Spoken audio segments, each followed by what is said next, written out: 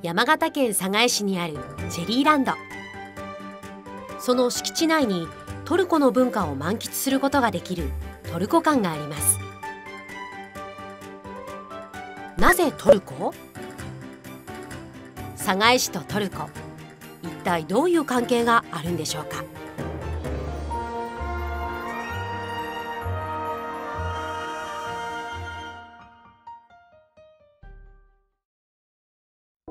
寒河江市は全国トップクラスのさくらんぼの産地。道の駅寒河江チェリーランドをはじめさくらんぼを使ったまちづくりが盛んに行われています。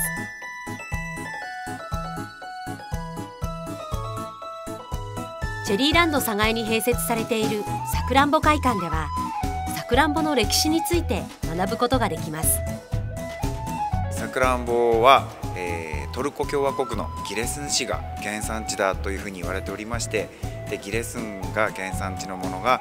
ヨーロッパに渡りました。でヨーロッパからイギリスそしてイギリスからアメリカに渡りました。そして、まあ、19世紀になりましてアメリカから日本の方に入ってきたということです。でその後あの北海道の方に入った後に、えー、山形県の方に入りましてそして山形県の方で気候がすごく合うということで、えー、生産が広まったというふうに言われております。トルコ共和国はヨーロッパとアジアの文化が混じり合う国。伝統的な親日国としても知られています。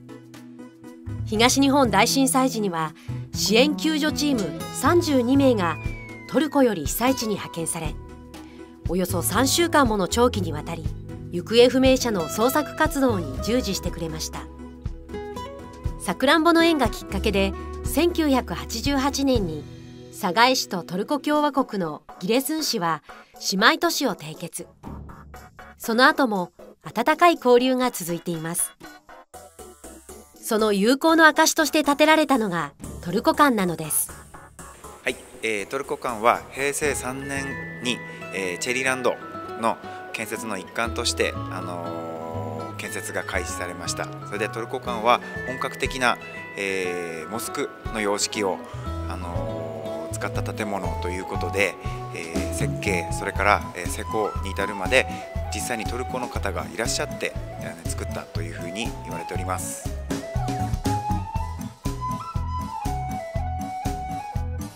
トルコの陶器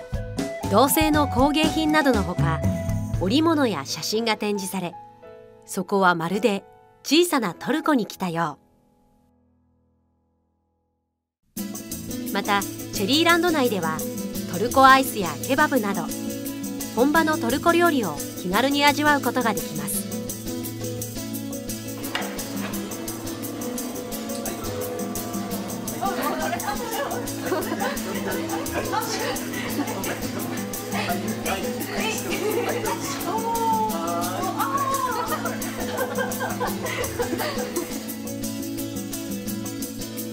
さくらんぼ会館ではさくらんぼについて学べるだけではなく四季折々の果物狩りの受付ができます。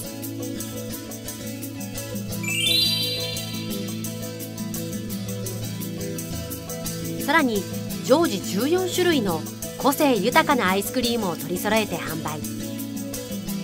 年間を通して人気を集めています。